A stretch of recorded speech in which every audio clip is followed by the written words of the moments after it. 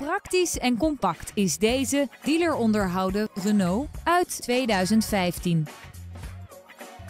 Het gemak dient de mens. Daarom is deze auto voorzien van een navigatiesysteem, audiobediening op het stuurwiel en climate control.